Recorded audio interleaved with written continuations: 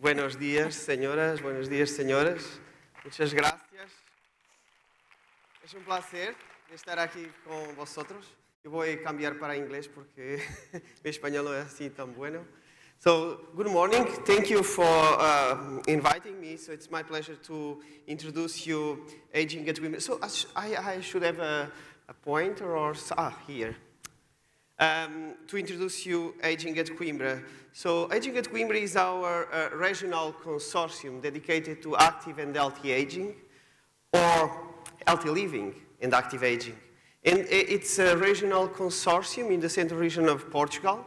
Um, it's based on the quadruple helix, so it's a, an holistic consortium joining all the actors uh, dedicated to healthy living because uh, healthy living and active aging is a matter of uh, human persons and is also a matter of uh, human per per persons across the life cycle. So it's not specifically on, on aging because we age, uh, the quality of aging depends mostly on how we live in, in younger ages and, and, in young adulthood. So um, this is our focus. Uh, and actually, I found this picture very interesting. I took it in uh, uh, a monastery in, in, Brazil, a Portuguese monastery at, at, at, that time. And it represents very well the relationship between different generations um, um, and, and, the way the different generations see the age per, per person.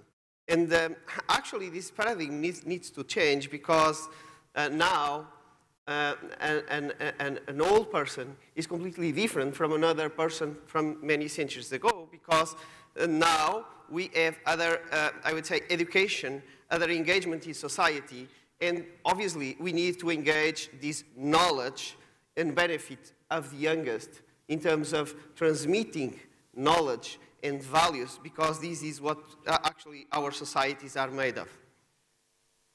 So Aging at Coimbra was uh, actually a bottom-up um, initiative started in, in 2012 uh, as a challenge from the European Commission to identify reference sites for active and healthy aging. And so the initiative was taken by um, five major in, institutions in, in, in, Coimbra. So the um, University of Coimbra, the uh, municipality of Coimbra, the uh, big university hospital, and also the primary mm, care uh, network of the central region of Portugal and the business incubator Instituto Pedro Nunes. So these five um, institutions, they also embed uh, somehow the quadruple helix context, so health, uh, government, care uh, institutions, so the academia, the industry, innovation, and the civil society. Because the cross-fertilization between these actors. It's what really make uh, best practices very powerful because they start from knowledge and high education and they deliver benefits through uh, the industry, the economy, creating jobs, but also better health care uh, and, and, social care to people. And from these um, these founder members, so we have uh, actually could also attract the interest of the regional authority, uh, the Comissão de Coordenação e Desenvolvimento Regional do Centro, CCDRC, which is really a huge support because it incorporates somehow institutionally the benefits of this bottom-up consortium.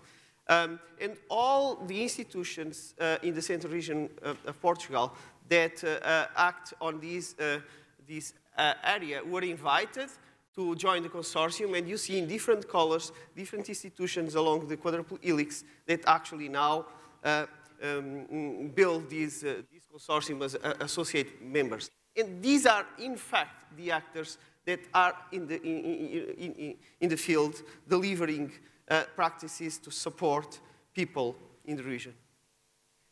So um, we are one of the 74 reference sites a EIP on AHA.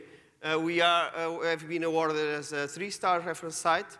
And, um, and, and these reference site collaborative networks, so the reference sites, are really very important regional hubs for uh, innovation and dissemination of, of, good practices. And so using these regional structures, we can really think on developing best practices to support people, but also to um, spread these best practices across Europe. Um, aging is really a big challenge, especially you, you see in, the, uh, in your right side, the last bar is Portugal, always in the last side of something. And here you see the expectations for 2016. In 2016, Portugal will face a major issue on aging because there will be the percentage of older people, uh, older than 80 years old, will be much bigger comparing to the other uh, uh, uh, uh countries in Europe, especially the ratio between older people and young adults. And so this means, uh, at the same time, we expect a decrease in 40% decrease in natality. So this double aging process is a, a big challenge. Um, and if we, we are not care, uh, careful enough, so we will have a lot of older people not supported by uh, care providers and living somehow alone. Um, this is a, a, big issue, especially because as we age, at least currently, we increase the number of multimorbid conditions. And so we become frail, we become dependent, and this is something that is very explosive. So many people depending on care um, and less people to take care of these uh, people. So we need to change the paradigm of uh, aging uh, from, I would say, uh, aging with chronic conditions to being uh, old but active and healthy. So, and uh, to become, yeah, so it is really important also to understand the multi-dimensions multi of frailty.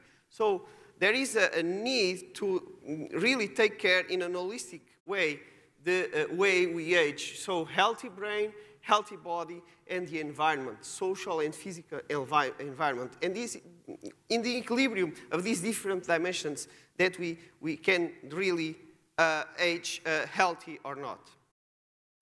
So with the support of the um, regional authority, we launched a, a regional co a context to identify best practices in the central region of Portugal. So mm, the first edition was last year.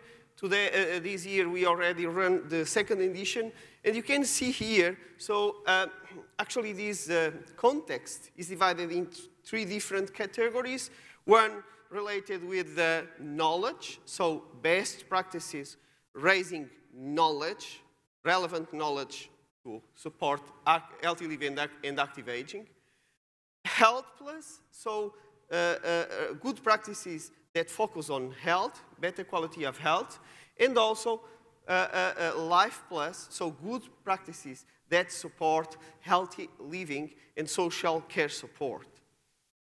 And uh, for us, it's very um, interesting that uh, this year we received 144 proposals, and uh, uh, three uh, proposals were awarded, one per uh, um, um, category.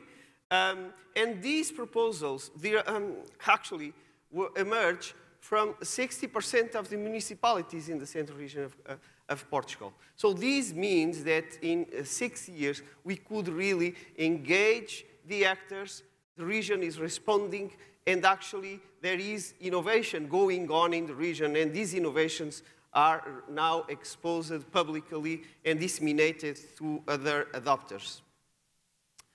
Um, uh, yeah, so this is the, the, the, picture of last year edition of the award ceremony. So we also benefit from the fact that we have a knowledge triangle in place, in Coimbra especially, which is an university city.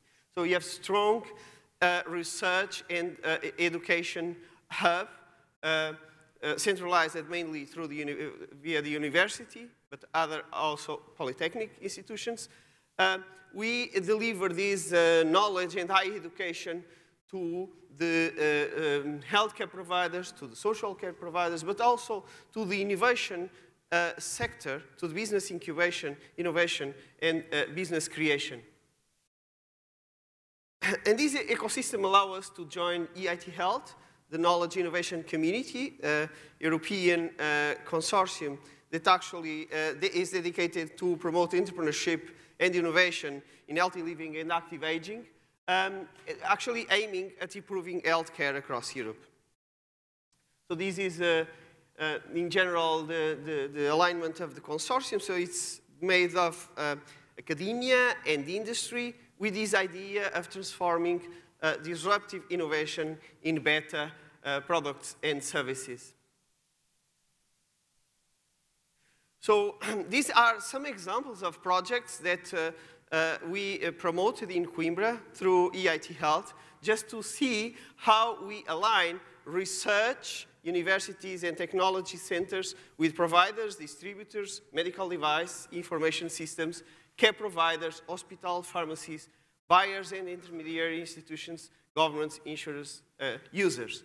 Um, these are some examples. So EpidemPrev, Starship Training, Innovation in Healthcare, uh, Master, PhD Transition Fellowships, Silver Entrepreneurship courses. So this is mainly to train and to, um, to identify innovation from uh, the universities.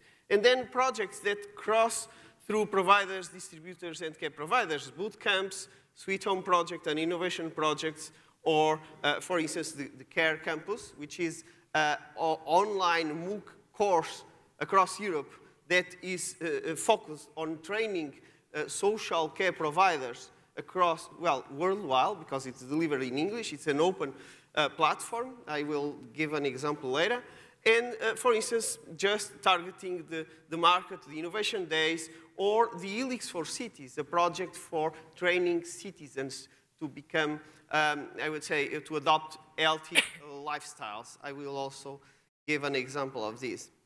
Another flagship project that we launch uh, it's uh, the Multidisciplinary Institute of Aging, so MIA, MIA Portugal, which aims at become a research, excellence research center in uh, uh healthy living and active aging. So this is a um, European project with a, a teaming with the, the, University of Newcastle, um, University Center Medical Groningen, uh, with the, the, partnership with the Mayo Clinic and Copenhagen University. And the idea is to focus or to discover new avenues for aging research and to translate this knowledge in advanced teaching to train a new generation of researchers and, and, and academics uh, and also innovation and technology transfer um, and also the translation to clinic uh, and to, to, to, to clinical research. So this is the idea of creating knowledge and delivering this knowledge into the society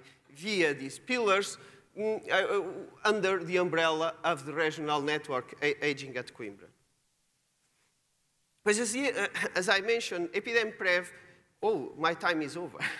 yes. yes, uh, it's just a, a, a big uh, consortium for, for uh, innovation PhD school across Europe.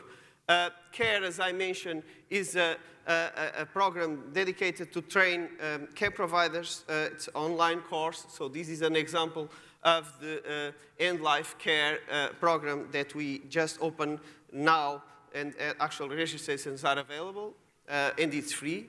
Anyone can apply. Or the Praça Vida Mais, which is the, our project based on Helix for cities, for training the citizens. Can, can you just click on the movie, please? And this is my last uh, minute.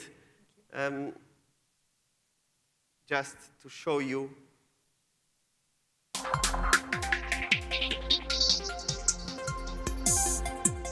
So this was uh, actually is a program organized in a, a, a shopping center focused on engaging the citizens with uh, healthy lifestyles.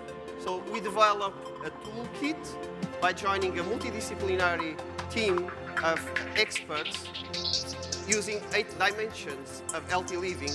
And this, uh, uh, this, this focus group developed a toolkit to assess healthy uh, lifestyles.